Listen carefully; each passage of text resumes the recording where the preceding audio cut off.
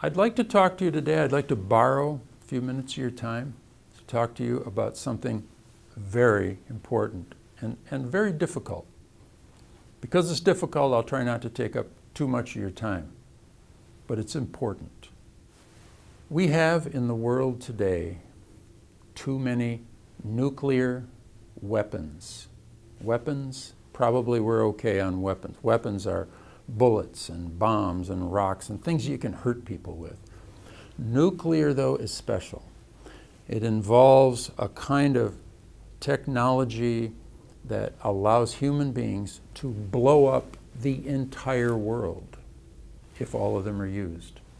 Everybody gone, never to come back, ever.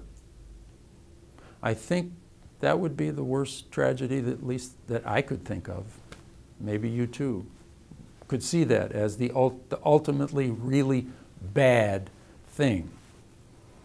Now, once upon a time, long time ago, almost 50 years ago now, there was an event where it almost happened, or where, where the world almost blew up and killed everybody in it, including all of your ancestors, all of your grandparents, your parents, if they were alive then.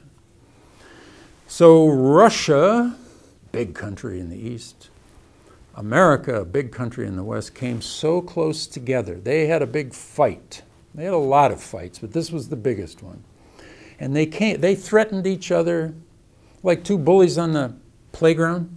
I've got five rocks. Ha, I've got six. Ha, I've got ten. Ha, I've got friends. Ha, I've got more friends. Ha. That sort of thing. We call that escalation when you, you, the threat goes up. I keep threatening you, and you keep threatening me with more. And I say, oh yeah, sure, fine. And eventually, you have to decide if you're going to have this fight or if you're not. And what happened in this event called the Cuban Missile Crisis is that at, at roughly the same time, Russia and the United States came to the conclusion that if they were going to have this fight, they would blow up the world. So they ran like hell to the corner and said, look, Sorry. Just, just kidding, in a way. Just kidding. Let's not do this anymore. This is too scary. Oh my God.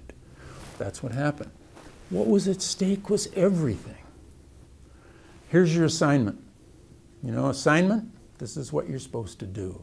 I want you to get rid of these weapons. I want you to learn about them. I want you to learn what people say they're for.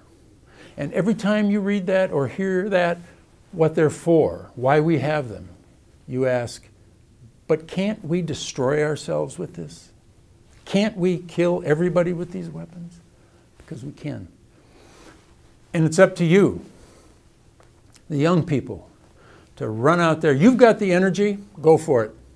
Get rid of these weapons. That way, when we have our fights, we can't utterly destroy each other. It'll never happen if we don't have that much power. Good luck. I'll be supporting you all the way.